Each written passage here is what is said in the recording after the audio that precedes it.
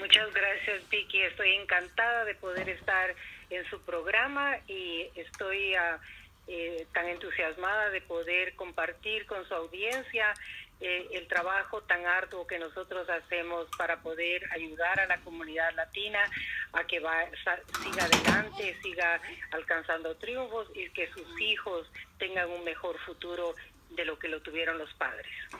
Ah, qué bueno, nos da mucho gusto, pero antes permítame, señora García, eh, resaltar a algo que creo que la, la, audiencia debe de saber acerca de usted. Usted, la señora García, tiene una licenciatura. Permítame, permítame presumirles a nuestra invitada del día de hoy. La señora García tiene una licenciatura en Administración Pública de la Universidad de Northwestern y una maestría en Trabajo Social de la Universidad de Illinois en Chicago. Además de que fue becaria de política en la Escuela de Gobierno Kennedy de la Universidad de Harvard. También completó programas de liderazgo en la Universidad de Northwestern, la Escuela de Administración Kellogg's y en la Escuela de Negocios de Harvard. Eh, así es de que, imagínense, es una líder latina, un orgullo latino y mujer. Yo que soy mujer, de verdad que me da mucho gusto poderla tener el día de hoy porque sabemos que nosotras las mujeres se puede podemos tener muchos logros y aquí está el ejemplo. Una de ellas es usted señora Marisela García. Coméntenos un poquito acerca de God's Hill Center esta organización comunitaria que fue fundada en 1898 Sí, Vicky, esta organización tiene 124 años, ha sido producto del esfuerzo de eh, generaciones de, líderes, de personas ah, que siguieron eh, después del 1898 trabajando fuerte para que la organización siguiera apoyando a los inmigrantes que venían en, el ah, siglo antepasado, porque ni siquiera es pasado, de Europa y luego apoyar a cada grupo étnico que vino a tratar de buscar oportunidades, mejores oportunidades a este país, hasta que en 1950 la organización empezó a servir fuertemente a la comunidad latina, principalmente mexicana, en, en Pilsen, en el vecindario de Pilsen. Ahora ah, hemos crecido mucho porque la comunidad latina ha crecido eh, significativamente, así que hemos creado otros centros, hemos abierto otros centros, eh, tanto en ah, Brighton Park como en Gage Park, en ah, Chicago Lawn y en North Lawndale. Entonces tenemos eh, cinco centros en total donde servimos 3.500 niños y sus familias cada año en asuntos de educación. Nosotros nos enfocamos directamente y únicamente en asegurarnos que los niños desde que nacen hasta que se gradúan de la high school o de la secundaria tienen el apoyo que necesitan, tanto eh, académico como socioemocional, y, y, oportunidades de liderazgo para asegurarnos que nuestros niños latinos tienen una real oportunidad de ir a la universidad. Entonces empezamos bien pequeñitos con los niños y es a veces ah, difícil creer que, pero ustedes qué hacen con los niños recién nacidos, ¿verdad? Cuando ah, digo que nosotros empezamos desde que nacen. Y es que el niño en, antes de los cinco años, Vicky, ah, la mente se le está las células del cerebro se están conectando y reproduciendo eh, a, a, la mayor rapidez en toda su vida, que el ser humano, el 92% de sus células y las conexiones que hace su cerebro ocurren antes de los 5 años. Entonces, la información, el estímulo, el exponer a los niños a varias experiencias va ayudando a que se conecten efectivamente todas esas células. Así que basado en esos estudios, nosotros trabajamos con los padres realmente para tácticas educativas pequeñitos, ¿verdad? Como ponerles música, leerles, aunque ellos uno crea que no entienden, pero ellos ya, si uno les lee, les va desarrollando el cerebro, les va desarrollando el, el, interés de, de, las palabras, ¿verdad? Los sonidos que produce el pronunciamiento de las palabras le van estimulando al niño a reconocer diferencias. Así que todo eso se los vamos a, enseñando a los padres para que ellos se vuelvan los primeros maestros de sus hijos.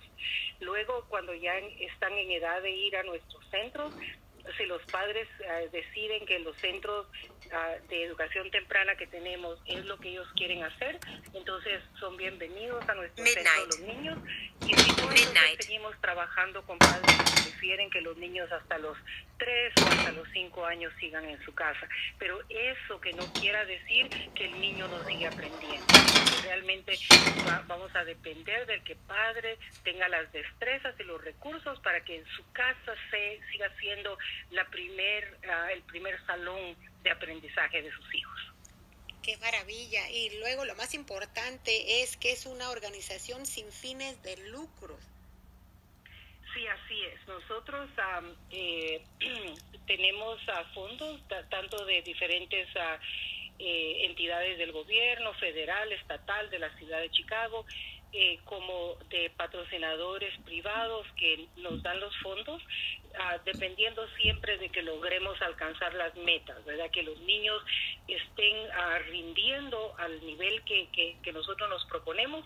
Entonces, esa es la razón que recibimos los fondos porque tenemos una trayectoria muy fuerte de éxito con los niños y de eso eh, es que logramos mantener la organización. Ah, pero las familias pueden a, eh, acceder a nuestros o, registrarse, participar en nuestros programas. Eh, si no tienen recursos, si no si ah, ganan las familias muy poco, eh, la mayoría de nuestros programas son para familias de trabajadoras de escasos recursos, porque nosotros sabemos lo difícil que es ser padre trabajar duro y que a uno no le alcance poder eh, darle a sus hijos a todo lo que uno quisiera para ellos. Entonces, están organizaciones como que Center que les provee mucho apoyo a estas familias de escasos recursos para que esas limitaciones no sea un impedimento para que sus hijos tengan éxito en la escuela. Exacto, y sobre todo la comunidad este, inmigrante que sabemos que es la que más le cuesta poder este, darles educación a sus hijos, ¿no? Eh, trabajamos, como bien menciona usted, dura la comunidad inmigrante. Eh, usted es originaria de Guatemala, ¿verdad? O sea, inmigrante, sabe lo difícil que es llegar a este país y empezar de cero. Sí, es cierto, Vicky. Fíjese, yo ya casi, yo tuve que salir de Guatemala por la violencia, por la guerra civil de, de los ah, años 80 y entonces ah, yo tenía, ya, ya tenía tres años de universidad, realmente estaba en el tercer año. Cuando llegué a este país, pues no me valieron nada y entonces tuve que empezar de cero, a aprender inglés y trabajaba en un restaurante haciendo hamburguesas porque no tenía otra forma de sobrevivir. Entonces era duro, ¿verdad? Porque yo no había trabajado en algo así tan tan duro como era eh, ser eh, trabajar en un restaurante, pero no hay nada que avergonzarse. A mí me llena de orgullo pensar, bueno, pero eso lo tuve que hacer, pero nunca perdí mi visión de que ese era un gran sacrificio, pero que lo que yo tenía que hacer es terminar mis estudios, continuar mis estudios hasta donde pudiera, porque eso era mi visión en la vida, ¿verdad? Eso era lo que yo me miraba como una profesional. Y entonces todo lo que uno hace, los, los grandes sacrificios que hace ah, para poder salir adelante, están basados en, que uno tiene sueños y trabaja duro para lograrlo. Es cierto. O sea que en sí le pediríamos que le dé un consejo a esas mujeres de nuestra comunidad que muchas veces pensamos que no podemos lograr ir a la universidad, obtener esos logros y porque dices, no, venimos de, de nuestros países y no venimos preparados, pero se puede lograr. Podemos ver el ejemplo de usted que es una gran líder, eh, mujer latina, que ha logrado esto. Así es de que, por favor, ¿qué le diría a nuestra comunidad?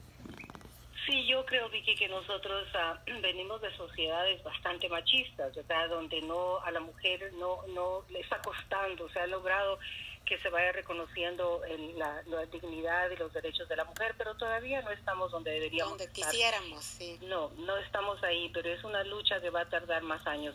Entonces, eh, a las mujeres nos cuesta mucho, ¿verdad? Encontrar ese centro de seguridad, porque no lo hemos escuchado cuando estamos creciendo, ¿verdad? Todos los mensajes de la sociedad, incluso de la familia, eh, son nos baja a nosotras, ¿verdad? nosotros no tenemos el mismo estatus que tiene el varón. Entonces, ah, para, es difícil para nosotras, pero por eso nos tenemos que inspirar en otras mujeres, ¿verdad? Ver cuáles han sido los sacrificios de otras mujeres para no conformarnos, que esas palabras que son como tatuajes, ¿verdad? Desgraciadamente, poder irlas borrando con el ejemplo de otras personas, con el apoyo de otras mujeres y, y ponernos metas. Y va a ser difícil porque nosotras a veces también repetimos esos patrones de que yo recuerdo cuando... Querer. ¿Verdad? Que uno, porque ya como tiene esos mensajitos en el cerebro, yo recuerdo cuando mi hija nació, ay, yo le pedía tanto a Dios que no me que, que, me iluminara de pensar en qué no debería de hacer porque instintivamente iba a tener patrones de la forma que a mí me educaron en mi familia. Entonces, eh, fui muy consciente de eso porque es allí donde cuando ya tenemos nuestras hijas mujeres y también nuestros hijos hombres, tenemos que tener ese sentido de equidad en la familia, ¿verdad? Que no haya esa diferencia entre a este le voy a dar más porque es hombre, o lo voy a reconocer más, o lo voy a promover más para que haga deportes, para que eh, le vaya bien en la escuela. No, nosotras ya cuando nos volvemos madres realmente tenemos esa obligación moral de crear hijas fuertes, de no disminuirles sus posibilidades, de apoyarlas cuando el mundo les diga que no van a lograr mucho, no hacerlas ver que eso no es cierto, ¿verdad? Que uno como madre tiene grandes aspiraciones para ellas y entonces creo que vamos a ir cambiando poco a poquito. El cambio se está dando, pero nosotras tenemos como mujeres que comprometernos a ese cambio también. Yo creo que sí, tenemos, es un reto para nosotras y yo creo que nosotras, yo conozco algunas señoras que son madres de nuestros ah, niños que llegan a la escuela, a las, a las escuelas que tenemos, y ellas empiezan como entrenarlas nosotros como promotoras de salud y entonces al principio no quieren hablar en público, no quieren hacer varias cosas, pero el apoyo que sienten, ¿verdad? Ese apoyo de que no, eh, una equivocación es aceptable, pero hay que echarle ganas y hay que seguir. Entonces se dan cuenta de que cometer errores es normal, que uno no aprende si no comete errores y que lo peor en la vida es que por el miedo a cometer errores uno no logre ser lo que vino a hacer en esta vida. Pues muchísimas gracias Marisela García, la directora ejecutiva de Gates Health Center. Y de verdad que estamos muy orgullosas de que una mujer latina esté en esta posición y sobre todo que haya compartido con nosotros. De verdad le agradecemos eh, que nos haya llamado, compartido y sobre todo darnos su tiempo. Muchísimas gracias, es un placer y cuando guste los micrófonos de aquí de Cafecito con Vicky están abiertos.